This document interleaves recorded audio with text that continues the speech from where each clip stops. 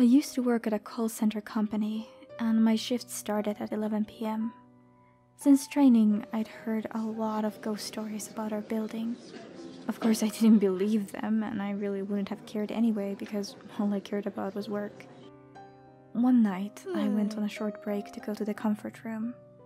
Our office is located at the left corner of the building, and usually it's quite dark compared to the other office corners. I normally use the comfort room in the middle of our building because it's bigger and a lot of people go there. But since it was just a short break, I chose to use the executive's comfort room because it was much closer. Besides, it was always clean and looked a lot nicer compared to the other ones. When you enter the comfort room, the first thing you see on your right side are two sinks, a large mirror, and two lights above them. Then there are three cubicles on the right side and two cubicles on the left side of the room. When I entered, I noticed that the room was a little bit darker than usual. Some of the lights were not on, and only the cubicle in the corner on the right side had paper left, so I entered that one. When I was sitting on the toilet, I heard someone come in and enter the cubicle next to mine. And then I heard a woman crying. I tried to ask if she was okay, but she just kept crying.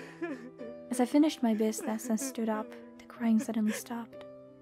Concerned, I stood outside the door of the middle cubicle knocked slightly, and asked again if she was okay, but there was still no answer. I tried peeking under the cubicle door, but no one was in there. But I could have sworn I heard someone come in earlier. I felt a bit spooked as I remembered the ghost stories that my coworkers used to tell about our building. I started walking fast to the exit, but somehow the doorknob that was fine when I'd entered was now broken, and I couldn't get the door to open. I was getting actually scared. The crying began again. I started banging on the door and shaking the doorknob. There was no use. And then the sound of the woman crying started getting closer. Panicking, I also started crying while banging desperately on the door. The crying stopped. I could feel the woman standing right behind me. One of the lights in the ceiling started flickering, and the door still wouldn't open. I tried to avoid looking back in fear of what I might see, but from the corner of my eye, I saw in the mirror a reflection of a woman in the flickering light. She wasn't standing at my back, half of her face was visible in one of the cubicle doorways.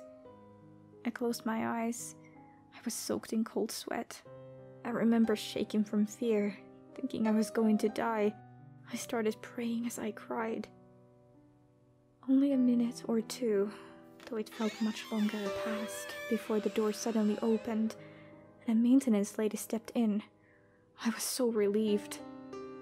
I told her about what had happened, but she just apologized for the broken doorknob and ignored everything I said about the crying woman.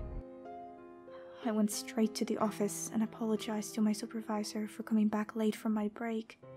I tried to tell her about what happened and told her that I was not feeling well that I didn't think I could finish my shift that night.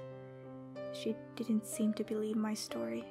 I warned my coworkers as well and told them about my scary toilet trip.